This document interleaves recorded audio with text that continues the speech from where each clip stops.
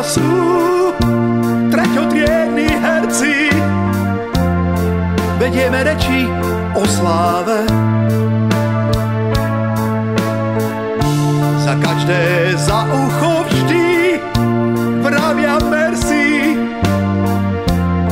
Vždy pijú niečo ku káve. Zatiaľ je to dobré, moji priatelia tak podozrivo starnú. Sme bez chuti riskovať.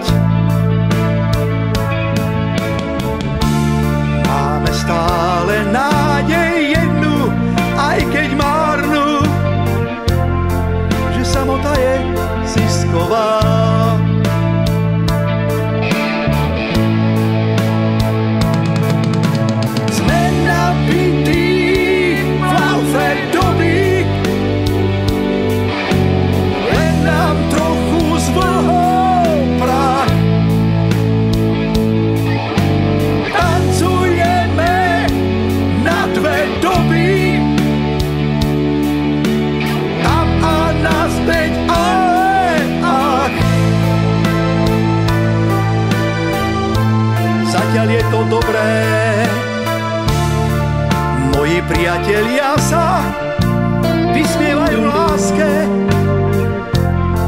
že stratila svoj štíhly pás. Len nad ránom ticho prší v nás, keď novému vínu chýba kvas. Zatiaľ je to dobré,